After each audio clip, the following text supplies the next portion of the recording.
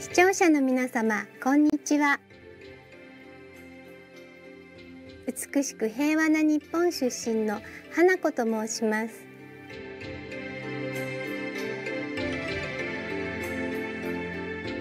料理番組活気に満ちた英国よりアンナ・フリードマンさんの乳幼児と子ども向けヘルシービーガンレシピ後編へようこそ。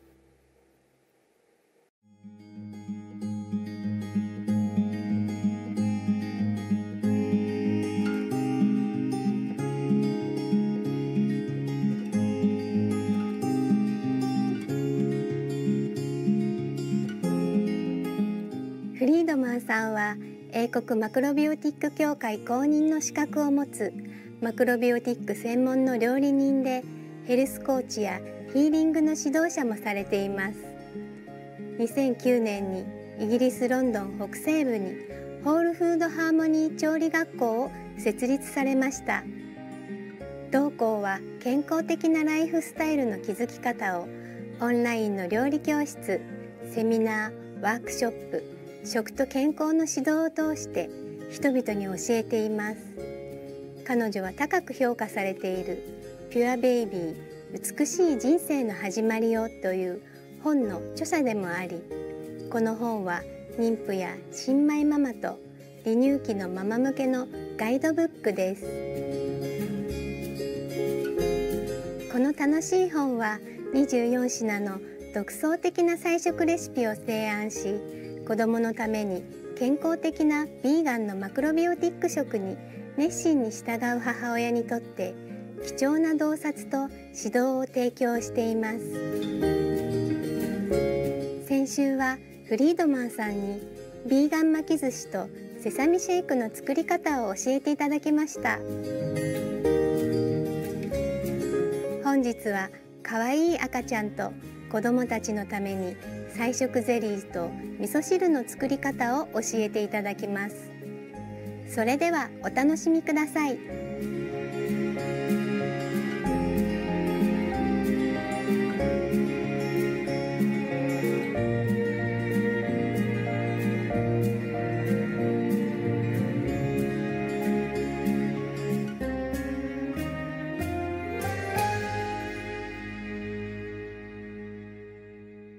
The next dish I'd like to show you is a jelly. Okay, but there's no gelatine, there's only a pure natural sea vegetable which is, acts as a gelling agent. It's called agar agar um, and it's really nutritious. In fact, I've heard stories of cultures that go for these agar flakes, um, cook them and eat them just as a tonic for their, for their skin but for their whole bodies. This is what they look like. So I'm going to heat up. The basis for the jelly is going to be uh, a juice. So you could use any juice. I'm using this lovely apple and elderflower. It's a natural pressed juice.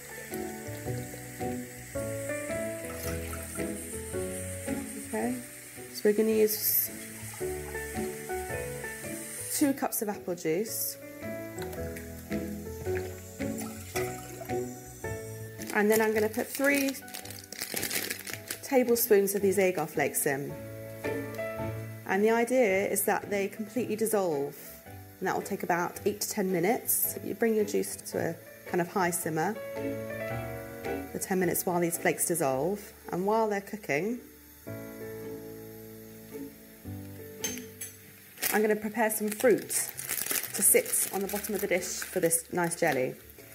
My children, oh, they ask for this jelly constantly. It's great. In fact, I started giving this to the baby. You'll see it in my book, I think, towards the end of the first year. Um, the baby, uh, babies would, would really benefit from this because it's really easy to digest, um, just especially without any fruit going in, uh, or very, very soft fruit inside. I'm going to use some strawberries and blueberries today. We can use whatever's in season. Pear is really nice. Um, plum can you can use a combination of fruits. And I just use them raw, put them in at the bottom of the dish, and we'll pour this lovely jelly concoction on top. Allow it to set, and then it will firm up.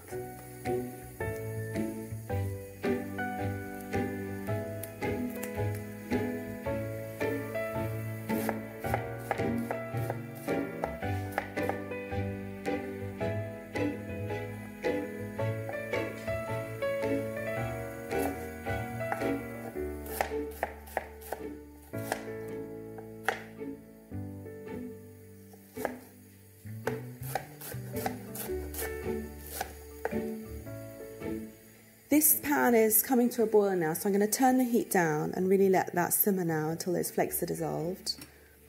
Another way I like to use the agar flakes, in fact, is to put them in the same way, but instead of using juice, I would use a plant milk, almond milk, coconut milk, rice milk, uh, something like that.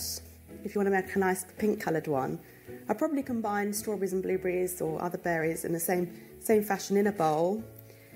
Um, apply the the mixture on top, let that cool and set, and then that whiz, whiz it up very very slightly, and you get this lovely um, yogurt consistency.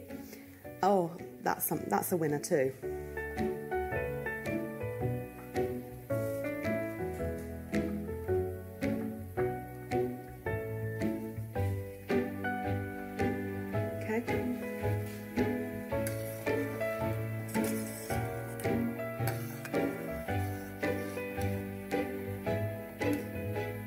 The agar flakes with the juice just needs a few more minutes until you see a little a little gel-like um, texture forming around the, the inner surface of the pan. Then you know it's really on its way to, to um, gelling, to gelling up. Yeah, this should be ready now. So I'm going to turn off the heat. Just pour over our lovely fruit, our lovely berries. And you could really vary this. You could add vanilla in. Um, you could have a lemony jelly, lime.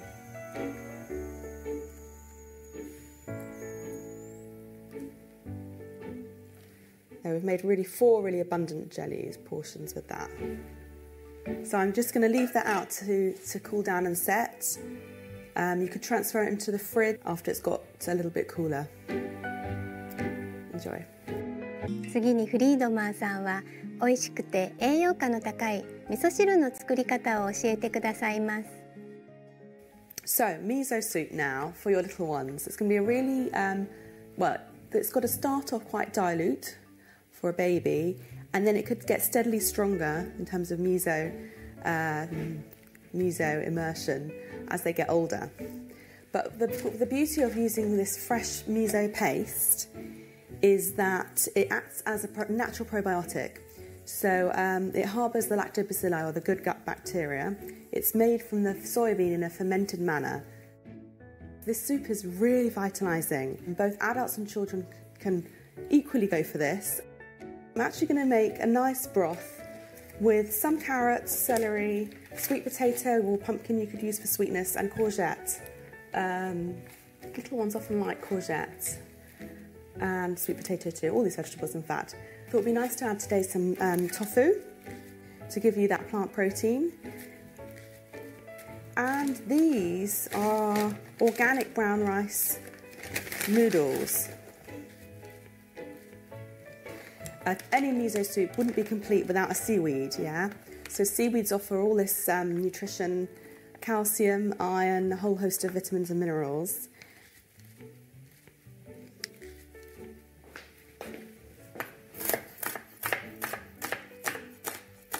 This is one of my staple recipes. If the children aren't well, it's very strengthening. You could add even more seaweed. You could add burdock, which is a very strengthening uh, tuber. And it's um, it confers real vitality. We're going to start off with a, just a dash of sesame oil, just a nice quality oil. And while that's heating, I'm going to cut, cut this yellow carrot. When I was weaning, um, I would make a soup like this, and then I might give the baby the liquid and fish out the um, vegetables. I'd make sure I'd cut them, probably more as matchstick. Um, the baby could hold on to and and experiment and play with and maybe even eat. So onions going in. You don't have to have loads of vegetables. You could just do this with your liquid, your miso, your seaweed and your noodles. But it just gives a bit more bulk or substance to, to the broth, having some veggies in there. Okay, so courgette going in. We'll have a little bit of celery and sweet potato. Sweet potato is nice or pumpkin because it gives it gives some sweetness to your broth and colour. And you could make a whole volume, a whole um, stock of this. You could freeze it, and I'm going to show you with the miso because that goes in last. So you'd freeze it without the miso added.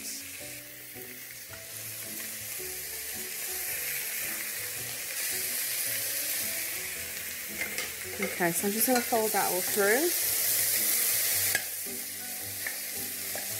And it's nice to have oil at the bottom to give your soup a richness. If you wanted it really cleansing, then you, you just omit the oil.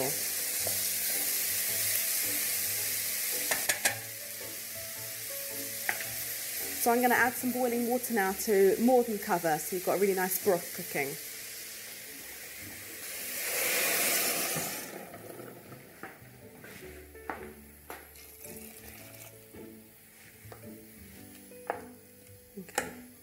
I'm going to bring that to the boil. And that's going to cook and it takes a few minutes, doesn't take long. Then I'm going to add, add this lovely tofu. And tofu's a really one of the first plant proteins you're going to start your baby off with weaning because it's so easy to eat. Beans are going to be too taxing for, a, for an immature digestive system. We all know ourselves um, that beans need to be really, really soft and cooked really well in order for them to be digestible.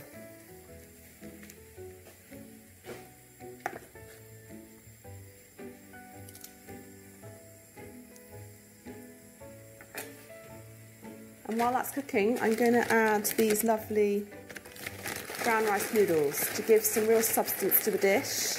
Um, offers some of that complex carbohydrate quality from the brown rice. And um, children will like fishing them out and sucking them up. Noodles and pastas, it's really nice to source different types, not just the wheat ones, the brown rice ones, and, and there's lots on the market.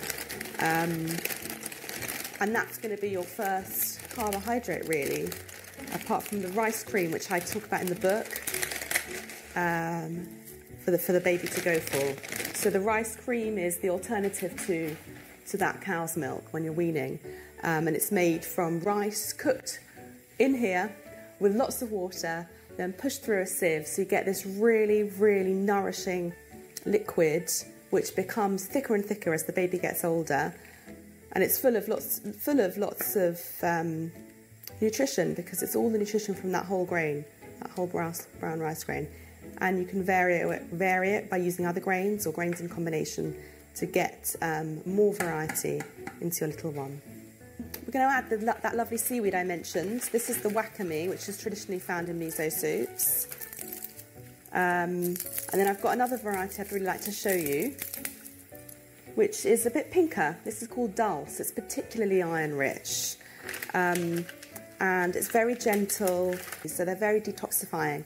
They can bind any toxicity or heavy metals and expel it from the system. So they're very cleansing. I've noticed now that the pan's come to a boil, so I'm going to reduce the heat and simmer that. I'm going to rinse these sea vegetables.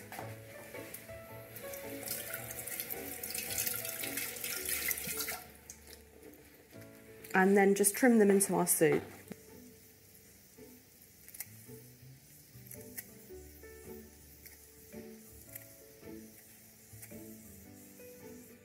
If you wanted your vegetables softer for your baby, um, then you might let them cook a bit longer. But for a toddler, preschooler, schooler, or an adult even, this is absolutely fine. You've still got a little bit of bite, so it's really nice and fresh. So the way the miso is added, I'm going to show you now. For children, I would definitely add the miso straight to their bowl so you can really control the amount, the, the amount you're giving them because it is salty.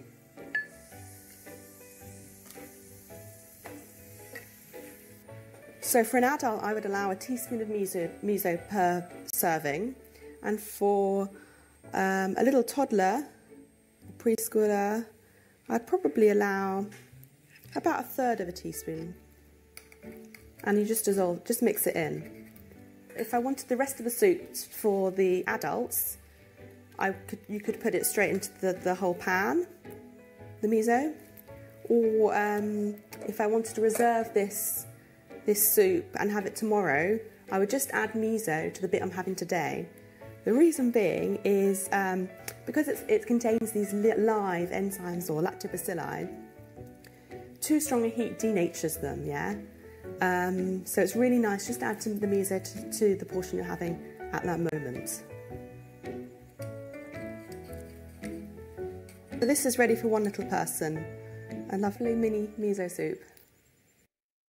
視聴者の皆様、2回にわたり放送しましたアンナ・フリードマンさんの料理の実演が皆様の子育ての旅のいくらかのヒントとなり子どもたちが健康的なマクロ美食を早く始められますよう祈ります。